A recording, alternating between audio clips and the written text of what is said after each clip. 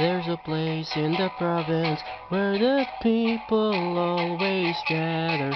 Living in an old nipa hut, there's an old man who is strange and totally weird. He can cure any sickness by the use of his healing powers. In a minute, all the patients could get active, but be sure to pay his service.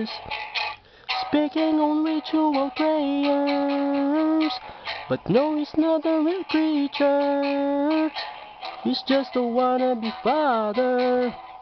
He's known as the Jesus of the Philippines. If you're possessed by the bad spirit, he will lay you down in the bed. He'll bless you holy water, he'll whip you dried ray fish tail, while you're screaming and not of yourself.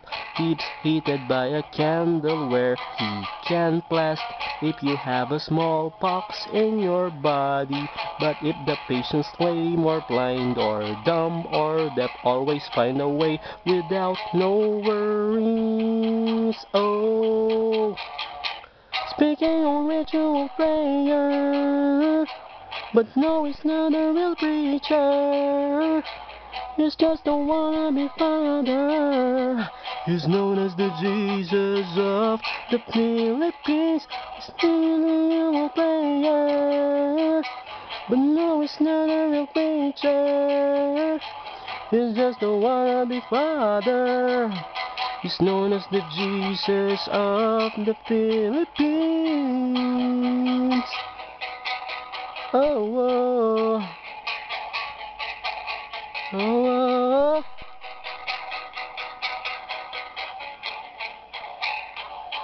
No scientific explanations, just a touch of his hands and look, they cured.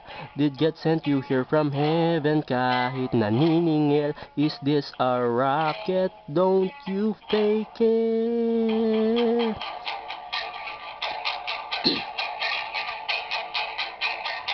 Speaking on ritual prayer, but no, he's not a real preacher. He's just a wannabe father. He's known as the Jesus of the Philippines. Speaking on ritual prayer, but no, he's not a real preacher. He's just a wannabe father.